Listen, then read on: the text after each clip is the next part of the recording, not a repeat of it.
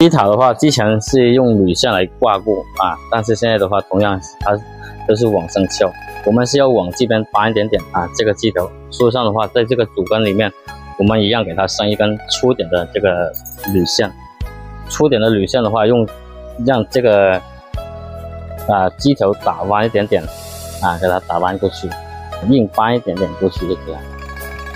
搬一点点过去的话，就是让这个接塔跟这边的话，就是。有有一定的距离啊，你看它现在的话，我们就给它上铝线啊，上完这个塔的铝线啊，这样子，这样子的话，我们同样也要上二点二点零的铝线啊，像这种的话都是翘起来的。啊，来看一下，现在我们啊把这个机条啊全全面上一下，因为这个机条的话，现在现在是往上翘啊，从这里开始啊，一直到尾部。尾部如果是很长的话，我们就可以给它修剪；如果是这个尾部很长啊，我们不用留太长，我们可以给它修剪掉。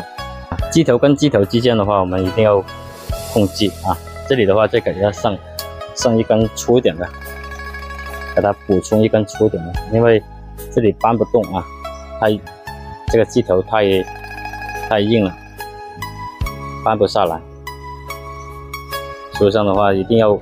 用粗的铝铝线给它搬，这样子的话就可以搬下来了，可以搬成平面啊。然后的话再给它用铝线来捆绑机条，保持有距离，可以的。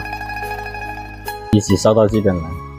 接塔的话，我们可以啊，再给它缩小一点点。定型了以后啊，这个造型基基本上都是这样子的啊。然后我们再用小点的铝线给它。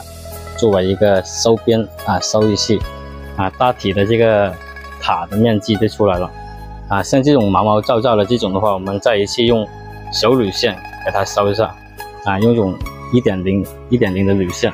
像像这种的话，我们从旁边开始收一样啊，因为为了机条更多啊，然后这种这种的话就是要啊一个个的这样就往里面去拉啊，靠拢。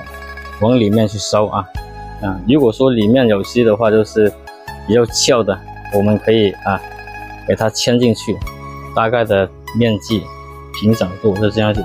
枝条少就是要靠去养枝条，往这边搬一点点，现在这个位置的话就出来了啊。还有的话，我们就给它修剪一下。